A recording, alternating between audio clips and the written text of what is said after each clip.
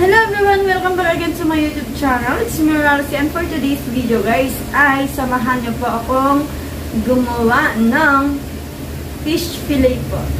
So, just stay tuned po!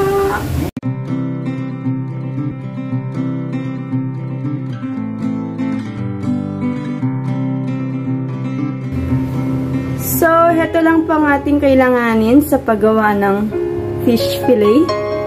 Of course, meron po tayong breadcrumbs. Ayan. Harina po. Itlog. Itong itlog, guys, ay dalawa lang ang ating ilalagay. Tapos, ating fish fillet or creamy dory. At ang ating mantika. Ayan, guys. Yan lang po ang ating kailanganin.